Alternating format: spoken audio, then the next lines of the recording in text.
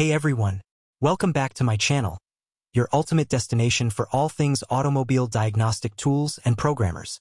If you're passionate about understanding the inner workings of your vehicle and keeping it in top-notch condition, you're in the right place.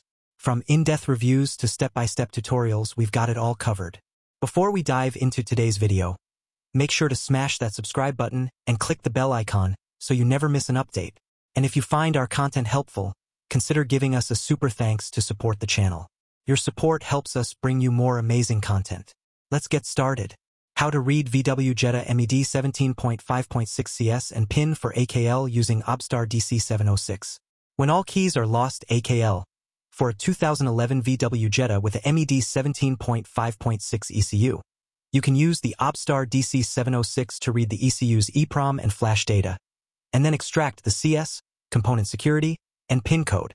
This method is easier and faster than pulling the cluster.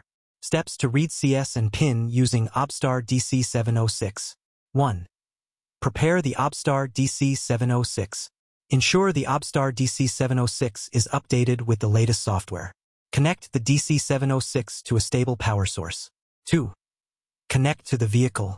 Connect the OBDSTAR DC706 to the vehicle's OBDII port. 3. Read EEPROM and flash. Navigate to the appropriate menu on the DC706. ECU-VW-Jetta-MED 17.5.6- Read EEPROM. Select Read EEPROM and follow the on-screen instructions to read the EEPROM data.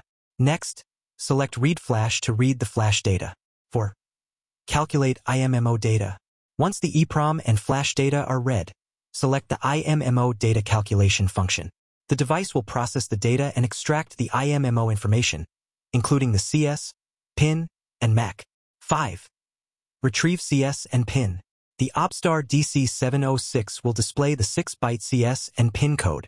Note, the 7th byte of the CS is typically 00. If this does not work, you may need to pull the dashboard to get the full IMMO data. 6. Program the key. Use the extracted CS and PIN to program a new dealer key. Enter the CS and PIN into your key programmer.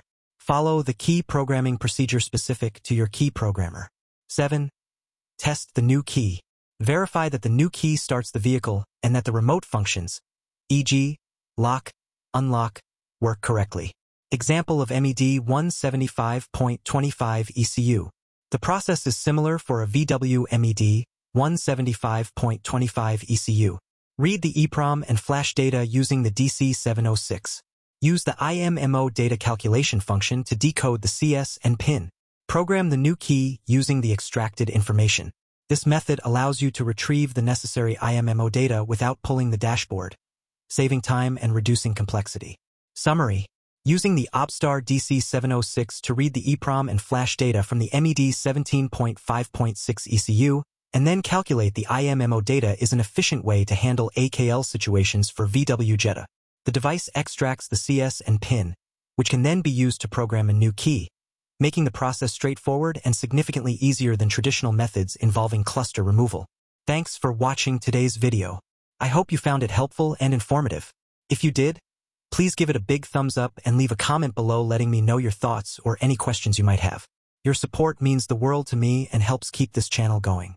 Don't forget to hit that subscribe button if you haven't already and share this video with fellow automobile enthusiasts.